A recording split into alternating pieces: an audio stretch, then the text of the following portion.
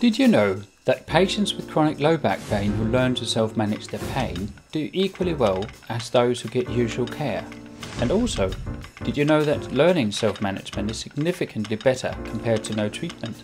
Broadly speaking, self-management means the ability to manage symptoms, treatment and lifestyle changes, and it includes a range of tools from exercise and pain relief to acceptance and dealing with worries and negative thoughts.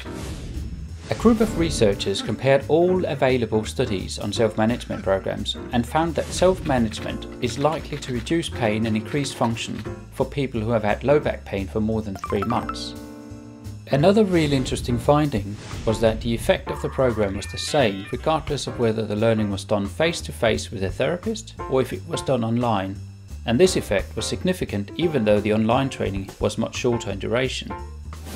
On the other hand, the education should be delivered in a meaningful context, such as a theoretical framework, to be useful for patients.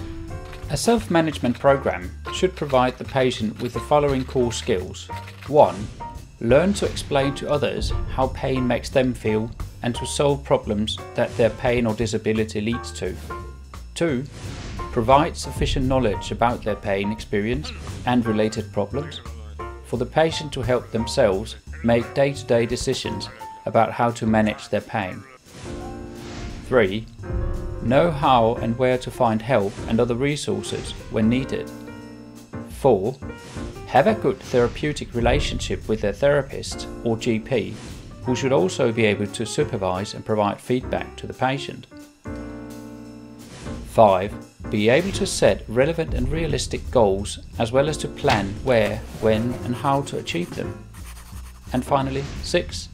Be able to decide when to utilize different behaviors such as rest or exercise. We hope you found this video helpful. See more videos from Prevent for Work on YouTube or Facebook.